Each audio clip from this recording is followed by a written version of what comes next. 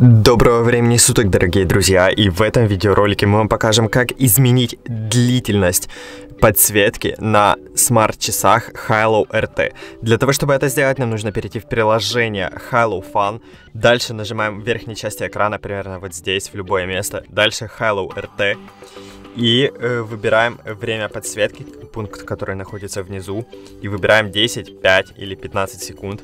Если мы выберем 15, например, после того, как мы включим наш экран часов, они будут светиться около 15 секунд и только потом погаснут.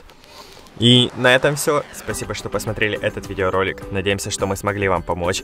Подписывайтесь на канал, ставьте лайки. Всем пока!